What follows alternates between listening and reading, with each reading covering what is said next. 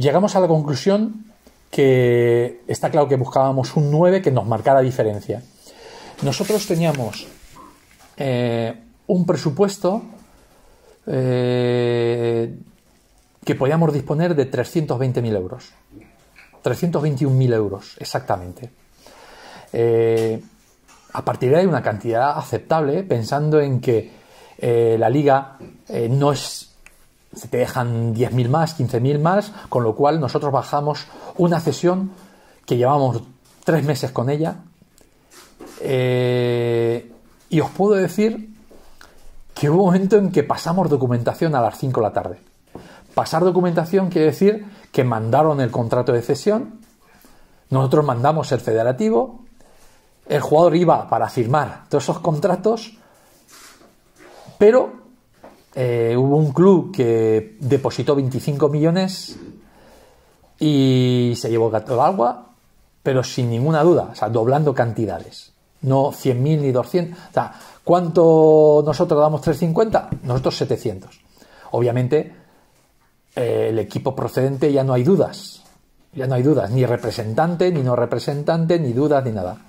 Eh, nosotros la batalla que se nos presenta con ese jugador, con el club primero que lo quería, pues realmente la ganamos porque, porque el, club de procedencia decide que sea el Racing, pero al final surge, se les cae un fichaje y acuden a este delantero centro. Y ahí es cuando, bueno, pues ahí decidimos eh, pararnos porque teníamos eh, la seguridad de poder tener este jugador que realmente marcaba diferencia en la categoría porque ha hecho muchísimos goles en la categoría el año pasado. Os estoy dando pistas porque tampoco va a ser muy difícil encontrar el jugador. Pero yo mm, creo que no lo debo decir, pero con estos datos, blanco y en botella. Eh, con ese resto que teníamos, que al fin y al cabo más o menos eh, nos hemos gastado 4.690 y tantos. Eh, bueno, pues teníamos una cantidad aceptable para hacer una operación. Pero es que traer por traer, cuando eh, no tienes la seguridad que te marca diferencias con lo que ya tienes, viendo que hemos traído a David Rodríguez, viendo que David Rodríguez ha venido en un estado bastante bueno Falto de ritmo, pero físicamente bastante bueno. Eh, ahí es cuando decidimos que o traemos un jugador que nos marca diferencias ¿eh? y nosotros no contemplamos ese jugador bueno de segunda B porque entendemos que entre los que tenemos podemos llegar a diciembre para intentar traer un jugador que marque diferencias. ¿eh? había esa posibilidad, alguna otra posibilidad también muy interesante de un jugador, pero que yo, eh, debido a que iba con su selección continuamente, hay un momento en que yo le digo que prácticamente se va a perder 12 fechas y que no puede ser. Entonces preferimos guardar el dinero, el mecanismo del club abierto a hacer cualquier ampliación, pero es que eh, no era posible llegar a esos 600, 700, era una operación imposible. ¿eh? Eh, y esa fue la tarde del lunes donde estuvimos al pie del cañón, pues Enrique, Begoña Teresa, todo el mundo intentando cerrar la operación. Resumen, se pasó la documentación, pero no se llegó a firmar. Eh, ahora cuando te hacen el presupuesto, y a mí me dan mi hoja con lo que me queda y veo todos los fichajes y lo que nos imputa, en el presupuesto total del equipo, tú hay varios apartados que realmente te quedas un poquito eh, apartado de fichas profesionales. Ten en cuenta que nosotros hemos tenido que hacer varios jugadores profesionales. O sea, el caso Aitor o Ortúa y tal. Son jugadores que no tenían ficha P en segunda división. A. Eso son, se suman 20.000, 20.000, 20.000, 20.000. Ahí se va un dinero. Luego, eh, Seguridad Social. Estamos hablando de 24 jugadores Seguridad Social más el cuerpo técnico. En el presupuesto va el cuerpo técnico, más Seguridad Social. ¿Eh? O sea, contempla los 24 jugadores, incluido John Under, Seguridad Social y todos los premios que nosotros en un momento dado nos pueden imputar. Por ejemplo, os pongo un caso. Ellos, según el baremo y el historial del, jugador, del año anterior, te imputan directamente los premios. Eh, sin embargo, a otros no se los imputan. Si es una apuesta de Nuja que tiene por hacer eh, tres goles eh, 5.000 euros, eso no lo contempla. Pero a un David Rodríguez por eh, jugar 30 partidos sí te lo imputa porque ellos, su historial les dice que sí lo va a jugar. Entonces, ellos hacen un estudio que te imputa una serie de cantidades. ¿Vale? Luego, el apartado de comisiones a agentes, sea social, eso se te va un buen dinero que, que lo olvidamos. Cuerpo técnico, primer entrenador, segundo entrenador, operador físico, ¿eh? Eh, eso es otro buen dinero. La realidad es que no son los 4.700.000 que hemos gastado exactos en la plantilla. ¿Por qué? Porque seguro que hay un dinero que va a retornar, que no se van a cumplir esas cláusulas. ¿eh? Pero está claro que están imputadas en el baremo final y así es. Por parte del club, a mí hay un momento en que me dicen, ahí tienes los 5 millones, pero el problema es que si utilizamos todas las fichas y utilizamos todo el dinero, hay un momento en que eh, en diciembre no tenemos ningún margen de maniobra. Entonces, traer un jugador como el que queríamos traer, sí. Por eso Iván dijo, un atacante que realmente marque diferencias. Para un atacante que pueda ayudar, no nos podemos olvidar de Marco Camus, de Siviero y de Tresaco. ¿eh? Luego, tenemos que tener en cuenta, aunque va a llegar justo, eh, John Ander. ¿Vale? Entonces, hay que sopesar los pros y los contras.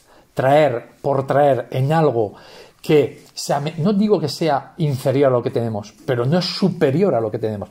Yo creo que el que queríamos traer por goles, si era un jugador que venía de hacer muchísimos goles y que quería venir aquí.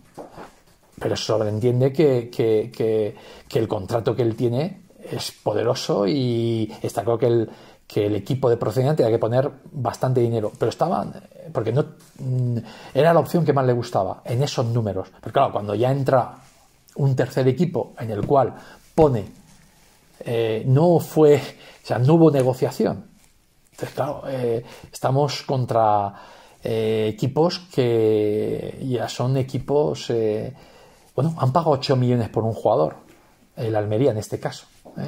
un equipo que es capaz de pagar 8 millones de traspaso en segunda división, yo en España no lo conocía.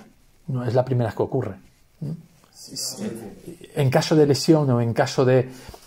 Yo a mí, el, el, el, agotar las fichas 25, es que parece que no pasan las cosas, pero es que eh, no quiero pensar en una. En, una lesión de otro portero.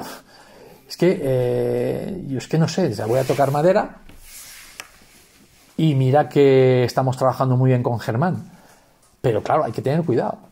Es que se lesiona un primero, se lesiona un segundo, se lesiona un tercero. Es que hay cosas raras, es que hay que tener mucho cuidado. Con lo cual, agotar esa posibilidad de, la ficha 25, ¿eh? tú sabes que la liga te permite fichar eh, con el número 25 o dosar 25 cuando ya es la última ficha utilizable. Sabes que el número 25 se utiliza para porteros nada más. Solo cuando no puedes utilizarla eh, con porteros y les dices que no la vas a utilizar con porteros, la puedes utilizar el jugador.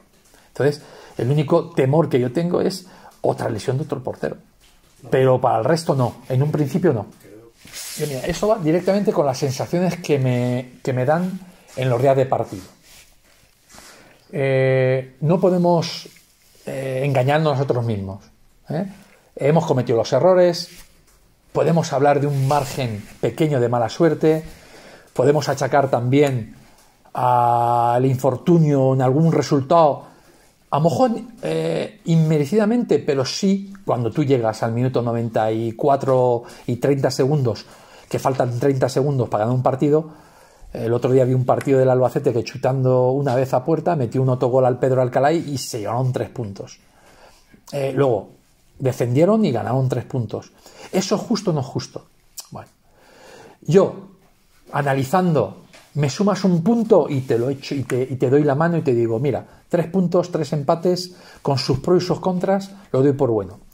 Cuando yo me voy a la cama, eh, siempre es mejorable, desde el director deportivo el primero a todo el mundo.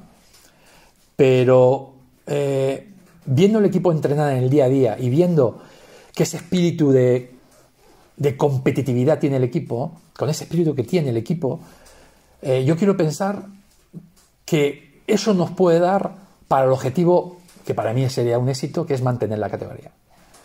Que se pueda retocar, que se pueda eh, buscar algo más en diciembre, pues no estamos cerrados a nada. Eh, hay mucha competencia, hay jugadores importantes, hay otros que por desgracia eh, no van a jugar todo lo que quieran. Bueno, Dios dirá, ya veremos lo que, lo que pasa y ojalá no haya ninguna lesión grave, recuperemos a John Under, esté en disposición de ayudar y que todo el mundo ponga su granito de arena para que este equipo sea lo que es, que pelea los partidos, que tiene opciones reales de ganar los partidos. Eh, que hay fases que sufrimos, que hay fases en el cual, pues es que hemos eh, prácticamente traído, eh, no quiero mezclar operaciones con fichajes, porque entiendo que Nico y Enzo son jugadores nuestros, pero han sido 10 fichajes reales. 10, vamos a meter a Lucas, Lucas Díaz el portero. Entonces, que está teniendo parte activa en este comienzo de liga. Son mucha gente nueva. Y por un presupuesto que, hemos tenido, eh, hay un tipo de jugador que merece la pena tener cierta paciencia para ponerlo en forma, para estar en su óptimo nivel de juego. Y eso hace que, debido a que también algunos han pasado de jugar en equipos eh, con un objetivo distinto al Racing en Segunda B y al mismo tiempo en Segunda A en el Racing, eh, no es fácil. cuando veo sobre todo el equipo entrenar, moverse, cómo trabaja, eh, me transmite eh, trabajo y tranquilidad y me transmite eh, sensaciones buenas. Porque tampoco podemos equivocar el objetivo de ir más allá. El, calendario no es sencillo.